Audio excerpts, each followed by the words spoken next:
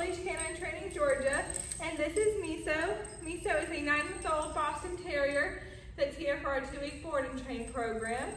The owner's main complaints are that he jumps up at people when he's greeting them or when he wants attention, um, that he does not always come when called. There was an incident where he bolted out the door um, and the owner said he almost got hit by a car and that he only will stay in a sit or a down when you have food. Um, he seems to pull pretty badly on the leash as well.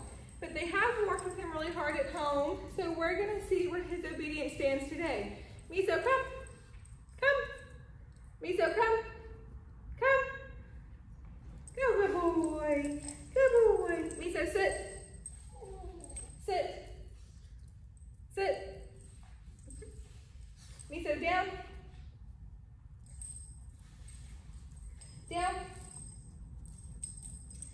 Miso, you. You. You. So he's definitely um, really excited, he's pretty distracted, and he does not want to follow the commands that he does know. But we will get him trained on and off leash and distraction proof over the next two weeks. So check back in to see everything that Miso has learned.